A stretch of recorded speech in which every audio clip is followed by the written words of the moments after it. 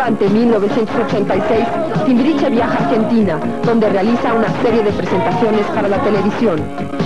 platicar de tu gira por Argentina y Chile. Bueno, yo soy Sasha Díaz Barroso, tengo 15 años de edad y pues yo creo que lo más importante que nos sucedió en Argentina fue eh, conocer la respuesta del público, conocer diferentes maneras de pensar, de diferentes costumbres y, y, pues el recibimiento que tuvimos en Argentina yo creo que fue, fue algo muy especial para nosotros. En el mes de septiembre, Sasha deja el grupo siendo reemplazada por Thalía Sodi.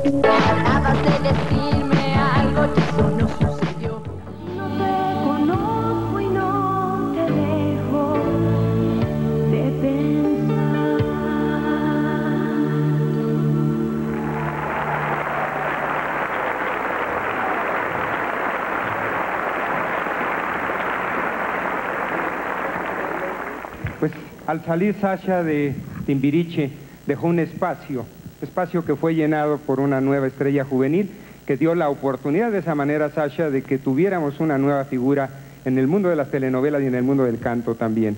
Ella es Talía, quien viene a entregarte el premio con el cariño y el compañerismo y los ositos esos que trae, qué barbaridad. ¿eh? Felicidades, es que no se quisieron quedar en casita y me los traje. Sasha, estoy bien orgullosa de verdad de ser yo quien te dé tu premio, ya que eres una persona que, que estás dejando el nombre de México en alto.